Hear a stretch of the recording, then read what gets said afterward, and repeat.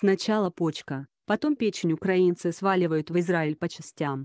Общество. Постсоветское пространство 22 ноября 8.1 сначала почка, потом печень. Украинцы сваливают в Израиль по частям в Казахстане помогают гражданам незалежно решать свои материальные проблемы. Дмитрий Родионов комментариев просмотров 3119. Фото, Юрий Машков слэш ТАСС материал комментируют. Лариса Шислер. В казахстанском городе Шимкент задержан главный врач городской клинической больницы номер вопросительный знак 1 Абылай Даньбай, которого подозревают в незаконных операциях по трансплантации человеческих органов. Об этом сообщил Интерфакс со ссылкой на пресс-службу МВД Казахстана. По данным ведомства, в 2017-2018 году в республике действовала преступная группа, занимавшаяся трансплантацией органов, в которой состоял и главврач. Ее клиентами выступали богатые иностранцы, преимущественно из Израиля. Донорами же выступали граждане Украины, Узбекистана и Киргизии. Они шли на это из-за тяжелого материального положения. Сам Донбай проводил операции за крупное вознаграждение. Он обвиняется по части 2 статьи 264 «Участие в транснациональной преступной группе» и части 3 статьи 116 «Незаконное изъятие органов человека» Уголовного кодекса Республики Казахстан. По аналогичным статьям были возбуждены дела и против других участников банды, которые были задержаны ранее. Как сообщает Sputnik News, KZ, Абылай Данбай стал главным врачом Шымкентской клинической больницы всего 8 месяцев назад.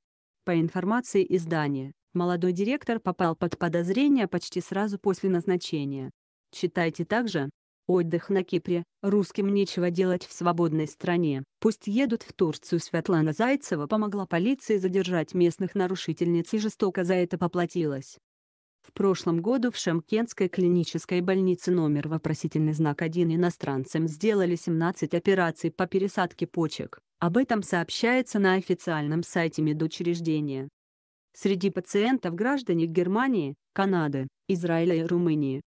Отметим, что, согласно законодательству Казахстана, гражданам республики запрещается отдавать иностранцам свои почки и печень. Трансплантации между иностранцами разрешены. Как пишет Украина.ру, с января 2019 года на Украине начал действовать новый закон о трансплантации, согласно которому каждый гражданин Украины должен либо согласиться, либо запретить изъятие своих органов после смерти. Если он при жизни не успел выразить свое мнение по этому вопросу, то решение примут родственники. В случае их отсутствия вступает в силу принцип «нет согласия нет посмертному донорству». Однако, как сообщает издание, система здравоохранения оказалась не готова к новому закону в стране реестра доноров и реципиентов. Медики же боятся, что без этого реестра после проведения операции им будут угрожать уголовные дела. Закон предусматривает наказание в виде лишения свободы сроком до 5 лет за насильственное изъятие органов и до 7 за незаконную торговлю ими. Украина.ру напоминает, что несколько лет назад в стране разгорелось несколько громких скандалов, связанных с незаконным изъятием органов.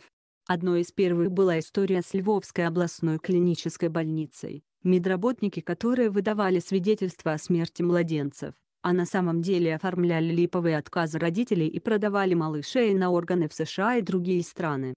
Позже в ходе журналистского расследования немецкое издание Der Spiegel выяснила, что в 2000-2001 годах местная компания Tatagen Medical GmbH, специализирующаяся на изготовлении имплантов на основе костной ткани человека, вывезла из Украины фрагменты более тысячи тел, каждое из которых принесло прибыль в размере доллар 250 тысяч.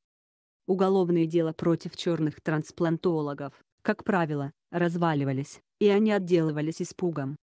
Издание приводит приблизительную стоимость органов. Легкая до 150 тысяч евро, целая печень до 550 тысяч евро, а роговица глаза до 15 тысяч евро, килограмм костного мозга доллар 20 тысяч, а стоимость почки варьируется от 15 тысяч евро в Китае до 250 тысяч евро в США. Казахстанское издание NBusiness KZ после случая с Донбаем выяснила, что человеческую почку в стране можно купить за 10 миллионов. тенге, около 26 тысяч долларов. Отсутствие в странах цивилизованной структуры такой сложной отрасли, как трансплантология, вызывает огромный криминальный интерес, и поставка органов для трансплантации становится источником многомиллионных прибылей, считает председатель Союза политэмигрантов и политзаключенных Украины Лариса Шисселер. Пространство бывшего Советского Союза стало полем такой деятельности, поскольку существующие тесные связи в профессиональных медицинских сферах сочетаются с огромной разницей в доходах в разных регионах. Доцент-убийца Соколов становится героем анекдотов на наших глазах. История доцента-расчленителя из страшного преступления превращается в шоу. Сочетание обнищания населения и безнаказанности преступных группировок – вот основные факторы, которые делают Украину активным поставщиком на этом криминальном рынке. Судите сами. Сегодня минимальная пенсия составляет 55 долларов, а минимальная зарплата 140 долларов. СП. Закон о трансплантации органов и других анатомических материалов человека подписал бывший президент Украины Петр Порошенко. Нужен ли был закон? кому он выгоден. То, что этот закон усиленно лоббировала американка Ульяна Супрун, с 1 августа 2016 года по 29 августа 2019 года исполняющая обязанности министра здравоохранения Украины РЕД, по прозвищу «Доктор Смерть», сразу вызывала подозрения. Насколько мне известно, до принятия этого закона пересадка органа от живого донора допускалась только в случае родственного донорства. По новому закону такое ограничение было снято. СП. Вызовет ли данная история резонанс на Украине? Или не обратят внимания? Конечно, тема черной трансплантологии довольно скандальная и привлекает внимание СМИ. Но, учитывая общее состояние экономики, социальной сферы, политические скандалы и разруху инфраструктуры, я думаю, эта тема не станет главной в украинских газетах и на сайтах. Постсоветское пространство, Литва уверяет, это не Советский Союз нас кормил, а мы его. Новости политики. Спикер парламента Эстонии потребовал от России вернуть аннексированные территории.